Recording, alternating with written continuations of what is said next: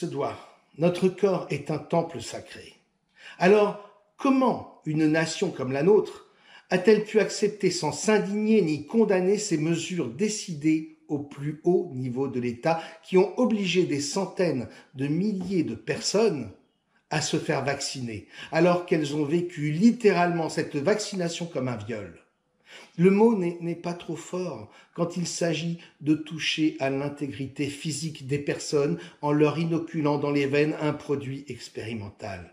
Comment ne pas considérer qu'à travers cette vaccination forcée, car il est bien forcé celui qui doit choisir entre se faire vacciner ou perdre son emploi, se retrouver sans allocation de chômage, c'est-à-dire ne plus être en mesure de payer ses crédits, son loyer, ni même pouvoir nourrir ses enfants?